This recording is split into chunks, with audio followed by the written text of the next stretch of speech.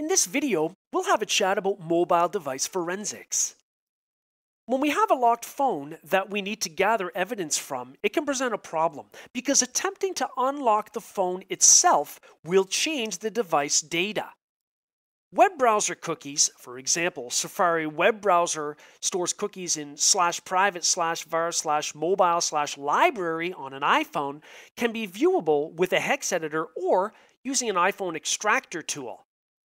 There's also the call history on a mobile device. For example, the iOS uses SQLite data stored in slash private slash var slash library slash call history to store call data. Now, interestingly, when it comes to locked phones, it really depends how important it is to law enforcement to get into it. If you think about the fact that the FBI in 2016 paid a company $1 million as a one time fee to be able to break into the San Bernardino shooter's iPhone.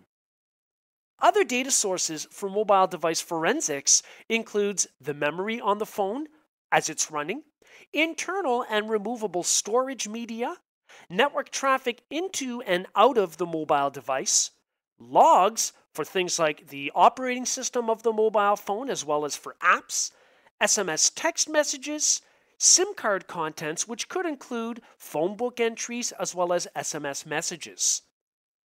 So we should be able to create an image of an entire mobile device file system and generate hashes before we start analyzing that acquired data.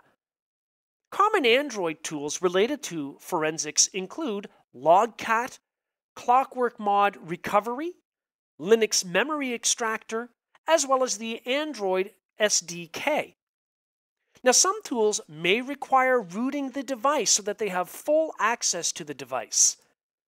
Common iOS tools for Apple mobile devices include iTunes Backup, so just because we seize an iPhone, for example, and there's no relevant data that we can see on the device, perhaps that data existed in the past and was backed up through iTunes backup in the cloud.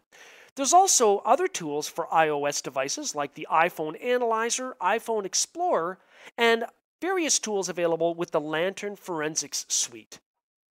On the iOS side, some tools might actually require jailbreaking the device so it has full access to the iOS device. In this video, we chatted about mobile device forensics.